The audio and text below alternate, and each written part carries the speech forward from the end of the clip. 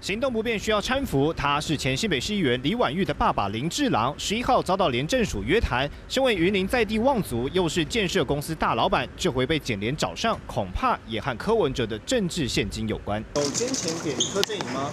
另一位证人则是台湾医疗发展全联会理事长吴梅寿，当年曾经婉拒民众党不分区名单，下午移送北检复讯时，却全程捂脸躲镜头，不排除同样有金流部分需要理清。金华城案检联持续侦办，在押被告部分，检方十一号放弃柯文哲，选择再度提讯彭振生及朱雅虎。尤其彭振生这回甚至跳下车冲刺，对比朱雅虎的从容不迫，似乎更怕被镜头捕捉。朱亚虎律师蔡月伦一早急忙赶到北检送交不明文件。身为全案唯一认罪被告，朱亚虎抗告成功后，当晚再被羁押，心情大喜三温暖。而两天后，检方火速提讯，时间更长达一整天，是加强小雨大意逼他吐实，还是被抗告成功吓得不轻？外界众说纷纭。